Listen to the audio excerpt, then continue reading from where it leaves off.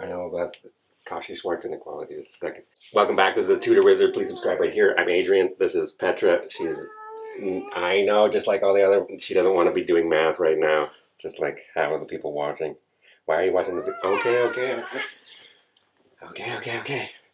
So what we're going to do today is linear algebra 1. Chapter 4 is ve the vector space Rn. Specifically today what we're going to do is what we call a Euclidean n space and inner product spaces. This lecture what we're going to do is define an inner product. The Euclidean n space specifically for Rn and an inner product is going to give us a Euclidean space.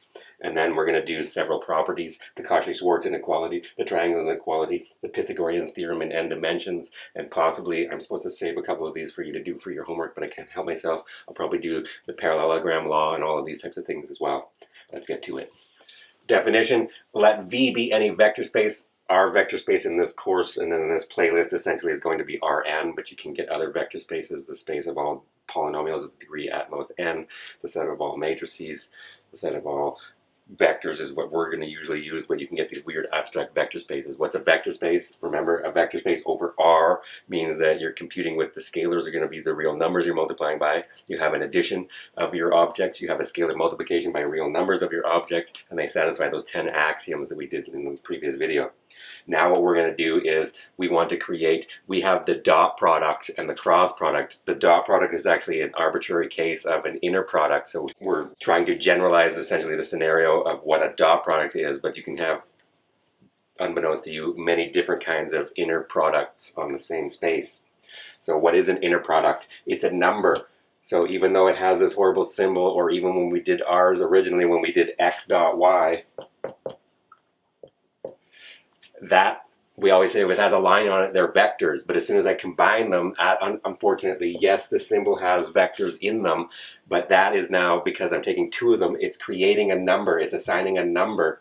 So this inner product is a function. You can actually view it as what it actually is, is a function which goes from where? It goes from Rn cross Rn, takes two vectors x and y.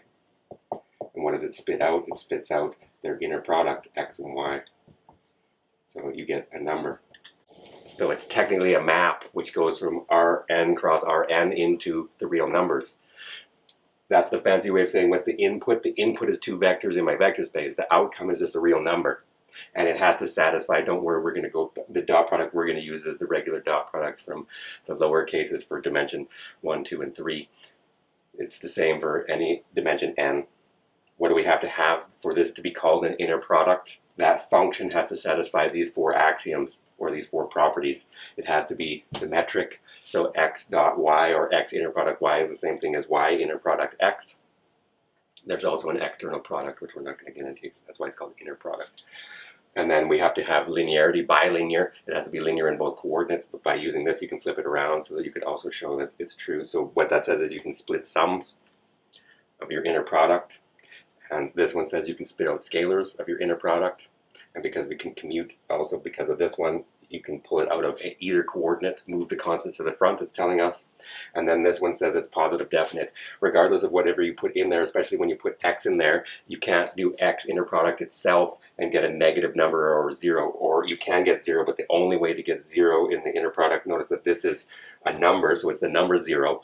You can get that with yourself if and only if the vector itself is zero. So this is what an inner product is. In general, we're going to use the normal dot product for our inner product, but there are other ones using integration or any of these types of things.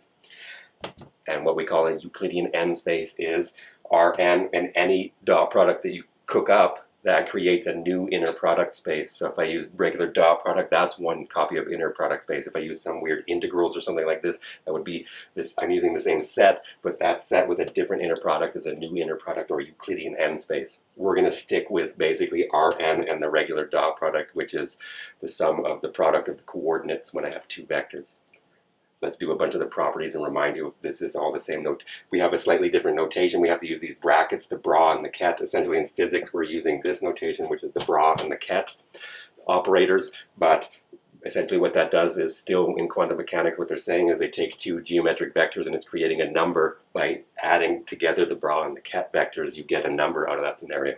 In our case, we're just going to use a slightly altered version of this So it's not going to look like this all the time. It's going to look like this. But essentially the one we're going to use is that guy. So I'll probably go back to the dot product notation.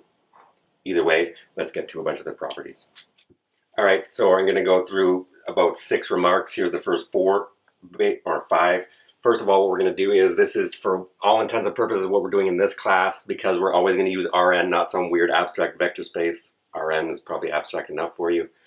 We're going to use the regular dot product as our inner product, so I'm going to use interchangeably or probably go right quickly back to using the bullet or the dot product instead of the angled brackets because at first everyone's brain is like, why is this this angled bracket is harder to deal with and do algebra with it, so it's easier with this dot product business. So I'll go back to that. So these mean the same thing for me now when I'm doing my discourse. Also, we want to flesh out in n dimensions. We already did this in one and two and three dimensions, but what is length now in n dimensions? The norm of a vector is still the square root of the inner product with itself. And because I said we're going to interchange, usually I'm just going to say that's the square root of x dot x. Notice we don't have the coordinates of the vectors and therefore we don't know how to actually compute this thing yet, but this is how we compute norm in Rn. Also, using our guide from the first three dimensions, the angle between them, we actually define dot product as norm of x times norm of y times the cosine. And then if you divide by both of these because they're non-zero, you get an access to the angle between them. Technically, the angle between them, theta, is arc cos of that thing, inner product xy over norm of x times norm of y. And you use your magic calculator to use arc cos of some value. Appreciate your calculator, that's harder to do than you think. So now we have a way of computing angles between two vectors in Rn. And the one, the most important one on here probably for you is we now finally have, regardless of the canonical basis in n dimensions that we have, if there's some ambient basis there, how did these guys get coordinates? They got their coordinates from the linear combinations in that basis, but now yay, they have coordinates. How do I add and do all those things coordinate-wise? How do we take the inner product or dot product of those two vectors in n dimensions? You multiply these coordinates together, you multiply the second coordinate together, all the way down to you multiply the last coordinate together, then you add it up. So this is the most important one. This is how you compute inner product in n dimensions when the vectors have coordinates. Then we need orthogonal projections is the same. It's just going to have more coordinates, everything, and we use that different symbol. But the projection of x onto y as a vector is x inner product y over the norm of y squared, which is just a number now. Remember, inner product is a number. Norm is a square root of an inner product, so that's a number. And so this whole thing is the scalar multiple times y. that's how we create projections. The last two things I need are we want that Pavlovian orthogonality condition for n dimensions and we want to know what a unit vector is because we really want to know when vectors have length 1 and we want, really want to know when vectors are orthogonal to each other. So let's do the last two properties. So the other two conditions we have is number 5 is the orthogonality condition. This should become Pavlovian or Freudian. You can make it dirty if you want. I don't really care, but just memorize it. Vectors are orthogonal in n dimensions if and only if their inner product is zero, or the dot product.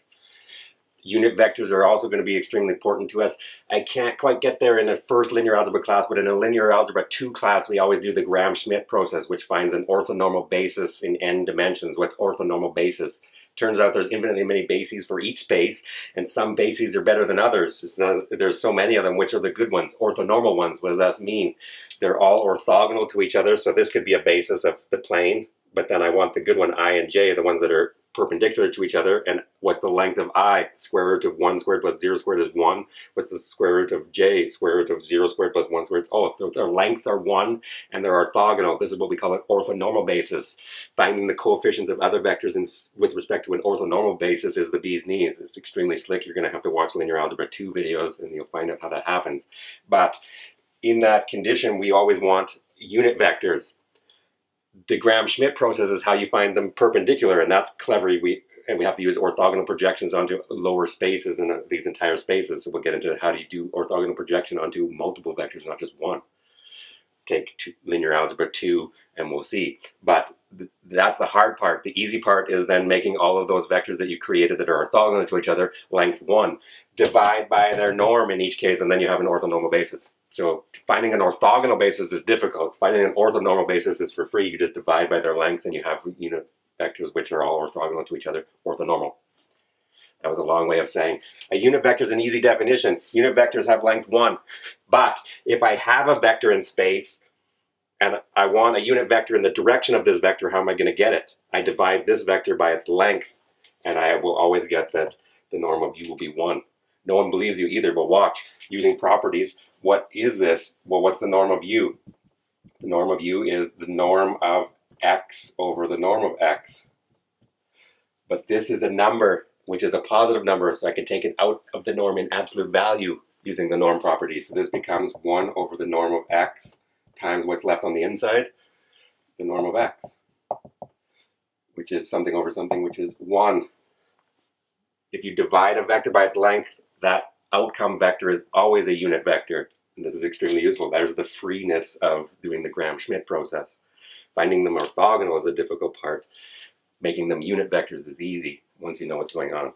Now let's do all of the, let's do an example of some of these things in four dimensions. We've done these calculations in three dimensions and two dimensions, so we'll pick some four vectors in R4 and do a bunch of these properties and calculations. Then we'll do the three nicest, I got a bunch of properties, but we're definitely going to do Cauchy-Schwarz triangle inequality and Pythagoras theorem in n dimensions. I might want to do a couple parallelogram laws, etc., etc. How to use this algebra now in our clever notation to prove things about the structure of that space in n dimensions. Let's get to it. All right, example one, we've got now got a couple vectors in four space. So both of these guys are in R4. And now what we want, how do I know that? Because they all have four coordinates, but I've been given two vectors in four space, so they are never a basis because they can't span all of four space. They are linearly independent of each other. So they span a plane in four space, but they can't be a basis for four space. I couldn't help myself. They have four coordinates. Now what do they want me to do? Compute the inner product of x and y, compute the norm of x and the norm of y, compute the projection of x onto y as a vector, find a unit vector in the direction of y. There's actually two unit vectors because the direction we mean this direction, whether it's pointed the same way or oppositely. So you can find two unit vectors in the direction of y and then find the angle between them. Which one do we want to do first? Let's go backward. Okay, we'll start with one. How do I find this? Why am I doing this first? This is what I need. This is inner product xy over normal y squared times y. So that's the pieces I need to build this guy. So 1. What is the inner product of x and y? This is now the inner product of 2, negative 1, 0, 3, comma. Nobody likes it when you put them in there, but it helps a whole lot. What was y? 1, 3, 1, 4. What does that say now? Whether it's before we would just put the dot product there, but now what is it? I do 2 times 1 plus negative 1 times 3 plus 0 times 1 plus 3 times 4, which is going to give me what? I get 12, 13, 14 minus 3 is 11. A number. I know it's hard to see in our notation, but when you actually go to calculate with coordinates, it's the number 11. That's just two sticks. So there, now he's 11. What's next? I need the norm. I don't actually need this one. I need that one, but we'll calculate both because it told me to. Now, what do I need? I need the norm of x. The norm of x is technically the square root of the inner product of x with itself, which is going to be what? This will be the square root of x1 squared plus dot dot plus xn squared, they say, is the magic formula. If I think about that for a second, I think that's the clever one I forgot to put into our remarks. But either way, what does that say? I have x1, x2, x3, x4. So this will be the square root of 2 squared plus negative 1 squared plus 0 squared plus 3 squared, which is going to be the square root of 4 plus 1 plus 0 plus 3, which is the square root of 8, which is 2 root 2, but you can leave it alone if you want. Then what do I want? I want to compute the norm of y. The norm of y is equal to the square root of y1 squared plus y2 squared plus y3 squared plus y4 squared. I regurgitate so my mind memorizes it, rememberizes it. Patent pending, patent pending. I make English words up, not the math we discover the math, not make it up. So what do I get? I get the square root of 1 squared plus 3 squared plus 1 squared plus 4 squared. Oh, is Mark cleverly, I stole this from Mark's book because I'm lazy, but is he cleverly picking up a perfect square? Try to get that where that works out most of the time. I think he did. Let's see. No, it's the square root of 27. I'm going to square it, so that's okay. So what do I get? Square root of 1 plus 9 plus 1 plus 16, which is the square root of 27, which again is 3 root 3, but I'll leave it like that. So what am I going to now do with that? I'm going to use this guy and this number to compute the projection. Let's move everything up and erase it first though. Cameraman, after I erase everything, points out just like students do. They let me fill the whole board and then they're like, oh, back at the beginning that should have been a 2. It's like, why did you wait? So in one of the calculations I think I had it wrong. So let's try to compute the norm of x. I throw the editor and the cameraman on the bus now. So why wait till I've erased it and then point out that I made a mistake? So what should it be? It should be 2 squared plus negative 1 squared plus 0 squared plus 3 squared, which I didn't square this guy apparently. So bad on me, I minus 1. So I get 4 plus 1 plus 0 plus 9, which is going to be what? The square root of 14. So there, it's not the square root of 8, it's the square root of 14 because I didn't square that guy. Now I can go back to doing the rest of what I wanted. What was the rest of what I wanted? Now I want to do the projection of x onto y. What is that going to be? I, I, I.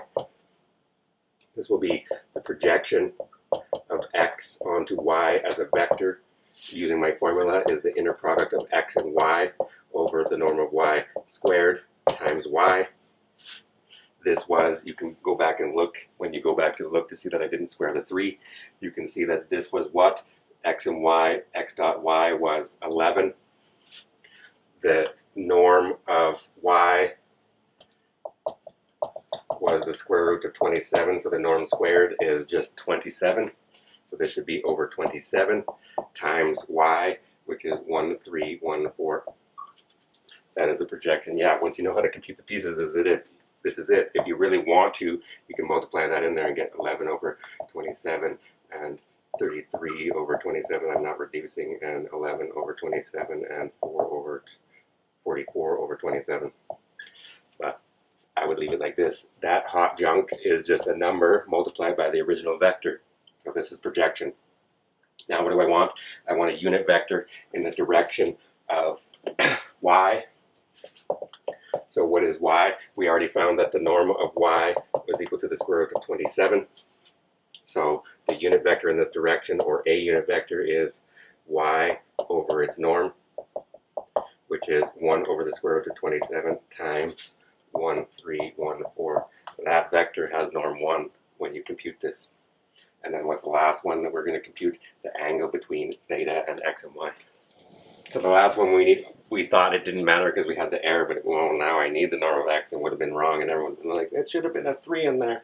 So cosine of the angle between them, and now you'll realize you should appreciate your calculator because unless you're using the unit circle and we cook these numbers up really nicely, which we didn't in this case, good luck finding cosine of whatever horrible number we get here. So what do we get? This was x dot y was 11. The norm of x computed correctly. Again, this is a good moral. It might take you more than one try. You're going to make little mistakes, but as long as you know the theory along the way, you should be okay. What was this one correctly? Now I don't remember. It was the square root of 14. I say I don't remember as I write the right answer out. And then it was the square root of 27. That's it. The only thing I can do is what Mark does where I just cheated and looked. He does this clever move. He says the root 14. And then it's 3 root 3. And then he does 3 times 14. This is 11 over 3 root 42. I wanted to put the 42 in there because that's my age and it's the meaning of life and everything. So there it is this is that, and so what the angle actually between them, the angle is, just like I said, you'd have to do arc cos of 11 over 3 root 42, which will take an entire other calculus course to figure out how to actually do that. I would need the power series expansion of arc cos, and then put that number in there, and then use successive approximation to that. I don't know what it is. What's sine of 1? No, sine of pi over 2 is 1. What's sine of 1 radian? I don't know, 0.707 or something like that. Some irrational transcendental number that I would use the power series. So appreciate your calculator. I know now that you're watching, take your calculator on your phone and compute what that thing is, or here, just wait, I'll do it. We're going to have to edit because I'm really slow with the technology. Calculator. We're going to have to use, do they even have arc cos in here? They don't even have arc cos on this calculator. How are we going to do it? Hence the air. Appreciate your calculator. So uh, you can calculate. It'll give you some number. Make sure your calculator is in radians, not degrees. It won't know what you're talking about. So this is radians. There's the angle. That's as far as I'm going. Yes, it's okay for you to leave it like that on an exam. I'll give you full credit. Now let's do the th at least three properties about Euclidean n spaces, Cauchy-Schwarz inequality, the triangle inequality, Pythagorean identity in n dimensions. When do we have a, the norm of a squared plus b squared equals c squared? Or we're going to phrase it as vectors. If and only if they're orthogonal, two of the vectors have to be perpendicular. And then we have the parallelogram law and all these things. I could keep talking. Let's get to it. All right. The first theorem is called the Cauchy-Schwarz inequality. What it says is for any two vectors in Rn, where you have an inner product, so a Euclidean n space, the absolute value of the inner product is always less than or equal to the product of the norms. Actually, the absolute value doesn't really matter anyways, but if it was if the inner product is negative, it's definitely going to be less than or equal because these are always positive. So these are greater than zero, and if it was negative, then it would definitely be true. But even if you take the absolute value they're saying, even if it's positive, it'll still be less than these two norms. How do we get this? We get this using the quadratic formula and the discriminant of a quadratic function by making a clever substitution. So let's prove this. It's extremely exciting, or at least we know that it will work. What we're going to do is let some other vector v be t times x minus y for some t in R is what we're going to do.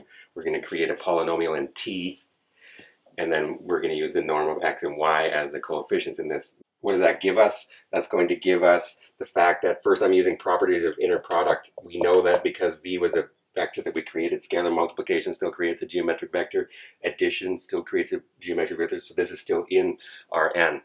And therefore, what do we know? Just using our properties of inner product, that thing has to be positive, but what does that give me? Knowing that that inner product with itself has to be positive, it now is going to give me an equation. What we have to have is, or an inequality what is v dot with itself? That will be tx minus y, inner product with tx minus y has to be greater than or equal to zero. Now I'm going to use the clever properties of inner product and FOIL all of this out. I'm going to get, when I do the properties, I won't do them here because I'm doing the proof, I'll do it in an example in a second, but what I'm doing is I'm using the properties of inner product to write this as t squared norm of x squared minus 2 times t times the inner product of x and y plus negative and negative is going to give me normal y squared. Has to be greater than or equal to 0. What that does for me is it's telling me that this polynomial in t now, if you can think about the t variable, so we have a t and a t squared and a 2. This is now a polynomial in t. These are just, this is a number, this is a number, this is a number, this is a number. Whatever they are, those are just numbers. Those are the a, b, c, and the coefficients of a t squared plus b t plus c has to be greater than or equal to 0. This is saying that the parabola now has to be greater than, at most it might touch, but it's going to be greater than or equal to 0. When am I going to get that? That's going to be if and only if I never have, or when am I going to get strictly larger than zero? That's going to be as if the parabola had never touched the x-axis. So I need the discriminant. When does that happen? When there was no real roots. So the discriminant of this thing has to be negative. So that's my next step is what is that going to imply? For this polynomial to always be strictly greater than zero or greater than equal to zero, I have to have that my discriminant is negative. And that's where I'm going to get my conditions. So let's erase and then we'll move this to the top. All right, so I moved it up and the best way to see that, I don't know if I explained that very well, but here in purple, that's the general, we have a quadratic formula. A t squared plus bt plus c has to be greater than or equal to zero. When is that going to happen? That means that we're just barely or not at all interacting with the x-axis, which means it has almost no real roots. And when are we going to have that? You have no real roots if your discriminant is negative the thing underneath the square root when we use the quadratic formula. So now here's an actual useful application of this. If this is the scenario for this guy, if this is A and this is B and this is C, rephrasing that, our discriminant using these values has to be less than or equal to zero. And then what am I going to get with this? This says immediately let's do this. First of all, this says that, ignoring the d part, this says that 4xy squared, the inner product, is less than or equal to moving this guy to the other side, 4 norm of x squared times norm of y squared. I can get rid of the 4 now. And so what is that going to give me? That's going to give me that the inner product of xy squared is less than or equal to the norm of x squared times the norm of y squared. I'm going to take the square root of both sides, and that's going to give me the result. That's going to say, even in absolute value, if I want, the norm of x times the norm of y is going to be less than or equal to x times the norm of y. So, using this clever quadratic formula, knowing that this statement has to be the discriminant is negative, tells us that using those specific things, because these are all numbers, cleverly gets me to the statement that is known as the Cauchy-Schwarz inequality. The inner product is always less than or equal to the, two, the product of the two norms of the vectors. This is extremely useful and almost a corollary. The triangle inequality will almost fall out of using the same similar clever trick of squaring a norm and then using the Cauchy-Schwarz inequality, I can get the triangle inequality, which is next. I guess I could have used one of the avatars of integers to be like theorem 2. It doesn't matter. Triangle inequality what is this going to be? Why is a triangle inequality, first of all? Because if I use my notation of linear algebra now to define that tri this triangle has sides which are determined by the vector x and the vector y, the length of those sides are actually the norm of x and the norm of y. But who's this vector? That's x plus y, so the length of this side in the triangle are, is the norm of x plus y. So now those horrible symbols are just a, B, C, the sides of a triangle. And in Euclidean geometry, also you should go to Mark Solomonovich's YouTube channel, Teaching 8, I think, something like this. I'll get better at calling those out, but you can find it if you really want. He does Euclidean geometry also, and in there, as a consequence of Euclidean geometry, what we're saying is the length of one side of a triangle is always less than the sum of the other two. Less than or equal to. When would it be equal when there's no triangle and they're collinear? So in our statement algebraically, this is the length of a triangle, the side of a triangle, and so are these. And what it's saying is the length of one side is always less than or equal to the sum of these. Not using the triangle scenario, here's a question that bothered me the first time it was posed. If and when do I get equality in this statement? It's always less than or equal, but when do I get actually equals?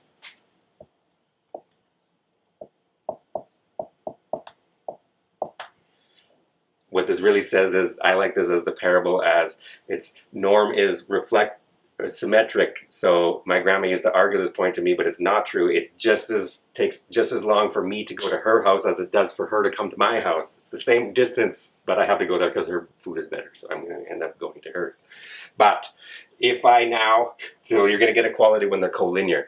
But if I have to stop at the store before I go to my grandma's, then that distance is going to be longer than just going straight there. But the only way I could do that is if the store was right on the street and I just put up my hand and grabbed the milk first and then I wouldn't have to stop. So the moral of that is the only way we're going to get equality here is if the two vectors were collinear and then x plus y is just going to be this vector and then they're actually equal to them. Otherwise you're going to get strictly less. Let's prove why this is true. What are we going to do to prove it? The dirty trick always is we're going to use Cauchy-Schwarz inequality, and whenever I want to look at a norm of something, it's often useful to, especially in physics and everything else, square it and see what happens. That was an inside joke just for one person. All right, proof. And when you get lazy, it's just poof now. Poof. How do I do this? I'm going to square it and then take the square root at the end. So what is this squared? And I'll go back to my nicer notation of dot product because nobody likes seeing this in inner product. So this is x plus y dot product with x plus y. Remember, the norm of a vector is equal to the square root of x dot x. So an extremely another Pavlovian almost should be that the norm of x squared is equal to x dot x. And that's where we always use this clever trick, and that's what I'm using right here. My vector is now x plus y, but if I'm going to square that, it should be x plus y dot product with itself. Now that I have that, what am I going to get? I'm going to use properties of inner product, so I'll go slow this time. This one, in the last one, I just sped through it, and you're like, how did you get that last line on the Cauchy-Schwarz inequality? Okay, I'll do it slower. This I'm viewing as one vector. And it says if you have dot product with this, you can distribute this guy into both, and it'll be the inner product with those. And then I'm going to do it twice from the right, just a second. So I'm viewing that, and I know this is why you can't see the move at first. I'm viewing x plus y as one vector. And in this part, I'm viewing them as two vectors. So I'm going to distribute this vector onto both of those guys, and that's going to be x plus y dot product with x plus, I'm allowed to now x plus y dot product with y. So that was that move, which is one of the properties that you're allowed to use for inner product. Now what I'm going to do is the same thing in reverse twice. So now what do I get? This one will give me equals x dot product with x plus y dot product with x. And then when I do it here, I'm going to get plus x dot product with y plus y dot product with x, y with itself. Now I'm using the properties. Am I allowed to flip that around? Yes. x dot y is y dot x. So I'll go slow. And what is this guy? I already want to speed it up. x dot product with itself is norm of x squared. So this one is norm of x squared.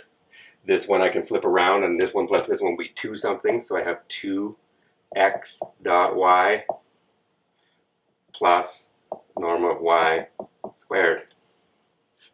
Same thing. But now here's where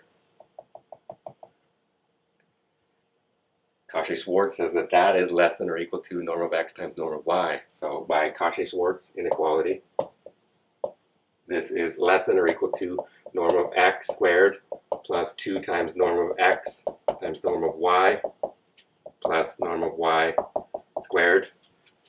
And what is that? It's the square of a sum.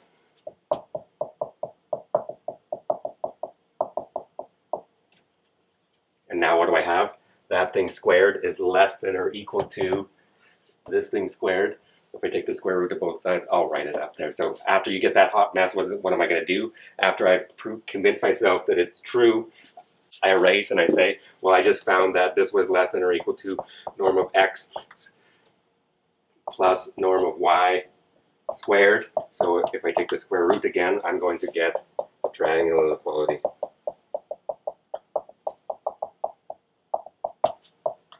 QED, quod erat demonstratum, what it was that I was supposed to show. I didn't just walk away. That means I've done the proof. I didn't just give up. I don't want to do this anymore. We always want to do more. And in particular, we're going to do at least two more. Let's do now, what was the one I didn't do? Pythagoras theorem in n dimensions. Mark is going to be like, you're supposed to let them try some of these. I want to prove them all. I'm going to.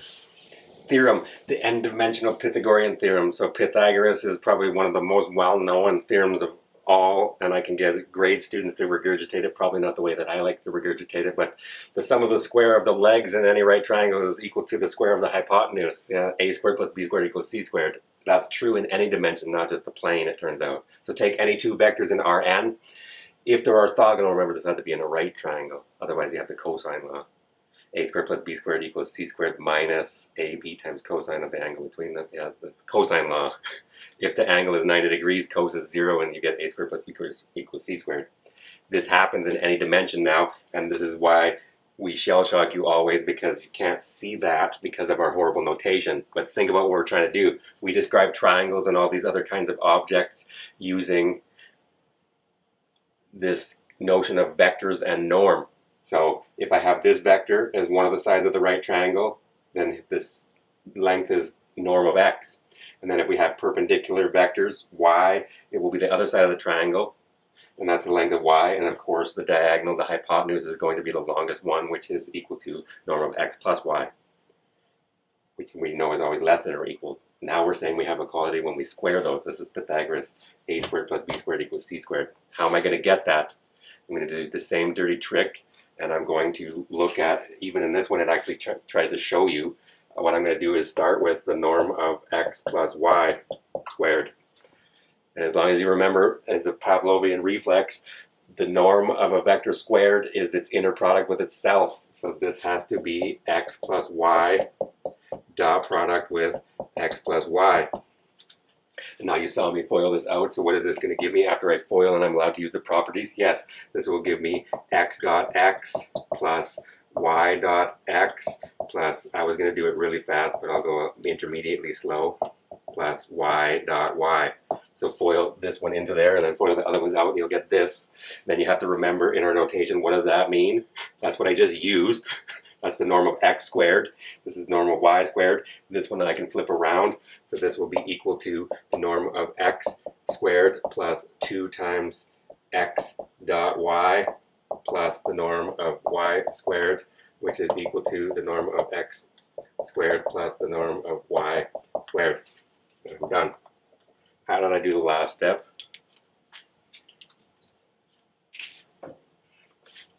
This is zero vectors are orthogonal in n dimensions if and only if the dot product is zero. So that term goes away and you get magically what? If those two vectors are orthogonal, then you get the norm of x plus y squared is equal to the norm of x squared plus the norm of y squared. That just seems like a magic property when you're using our notation and our vectors, but all that's saying is you have the sum of the square of the legs is equal to the square of the hypotenuse in any right triangle. I don't care what dimension you're in now. Let's do the parallelogram law and then we might get an, I don't know, I've got some properties. Let's at least do the parallelogram law then.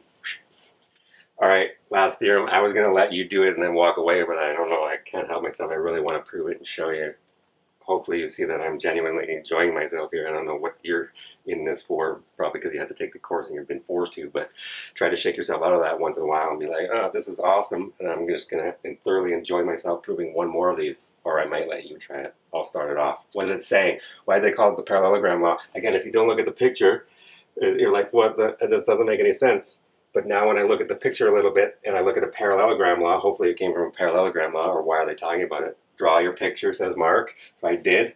And it looks like parallelogram opposite sides are equal to each other, so that this is the norm of x, this side, and this is the norm of x. These two sides are the norm of y and the two diagonals happen to be x plus y and x minus y, go watch one of our previous videos in chapter 3, and we have where I show that the diagonals of a parallelogram are in the span of the sides. It's like, what? They're linear combinations of each other we showed. So once I do that, that's how, how we get those. The diagonal, I don't have to write d1 and d2. I know it's x plus y and x minus y. Now what I'm going to do, they say that the square of these two diagonals, so this is this diagonal, this is this diagonal, it says the square of those diagonals is two times the square of the sides of a parallelogram in rhetoric. Now, but now in algebra, hopefully you see where I'm going to try to leave you off with this. What am I going to do with this? Well, I'm just going to open up this side and open up this side, and hopefully everything will simplify and give me this side. So what I do, I want to look at the norm of x plus y squared, and I want to look at the norm of x minus y squared. What is this one? This one is my Pavlovian reflex, inner product of x plus y by, with itself. So this should be x plus y dot product with x plus y. This one is going to, it looks like I'm proving it, it's going to be x minus y dot product with x minus y. What is that going to give me? Dot, dot, dot. Okay, I will leave it for you. This is going to give me, you'll get 2 norm of x squared plus 2 norm of y squared. You can factor out the 2 and then you're done. So proof goes here. If you want to fill in the proof, then you can link it below or something like that. But I will see you next time. Please subscribe right here. I don't know where it is. I think the subscription bell's right there. And then there's a bell next to it if you want the notifications. I don't know what any of that means. See you next time.